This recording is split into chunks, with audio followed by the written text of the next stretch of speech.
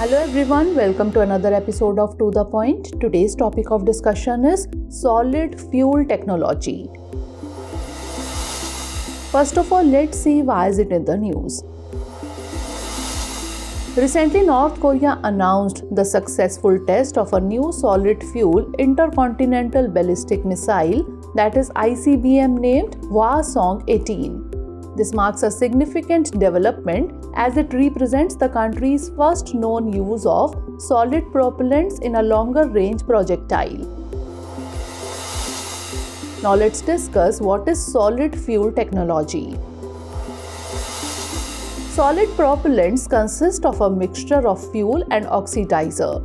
Typically, metallic powders like aluminium serve as the fuel, while ammonium perchlorate, a salt of perchloric acid and ammonia, acts as the oxidizer.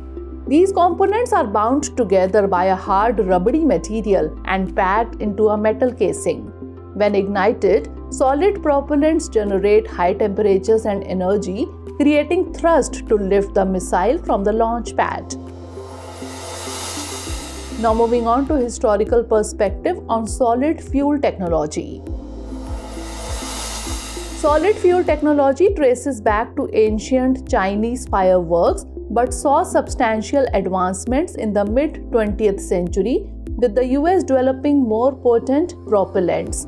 The Soviet Union deployed its first solid fuel ICBM, the RT 2, in the early 1970s, followed by France S 3 SSBS medium range ballistic missile.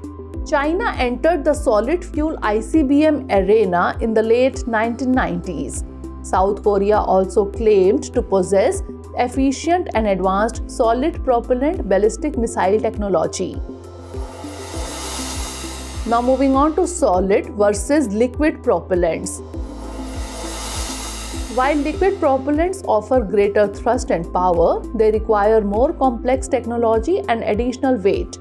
Solid fuel, being dense and burning quickly, provides thrust over a short time. Notably, solid fuel can be stored for an extended period without degrading, making it more logistically convenient. Experts suggest that solid fuel missiles are easier and safer to operate, requiring less logistical support, making them harder to detect and more survivable than liquid fuel weapons. Now let's discuss about implications of solid fuel technology. Countries operating large-scale missile-based nuclear forces prefer solid propellant missiles. They are more responsive during a crisis as they do not require immediate fueling before launch. The development of solid fuel ICBMs like the Hwasong 18 is seen as a significant step in enhancing North Korea's nuclear counter-attack capability.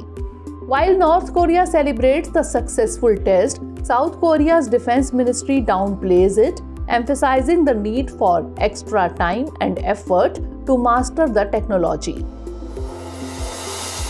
Now it's time for the practice question. Consider the following statements regarding solid fuel technology.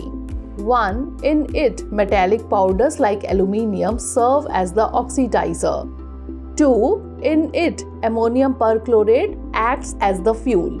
Which of the statements given above is or are correct? 1 only, 2 only, both 1 and 2 or neither 1 nor 2? Send the answer of this question in the comment section. Stay tuned for the next episode. Thanks for watching. Have a great day.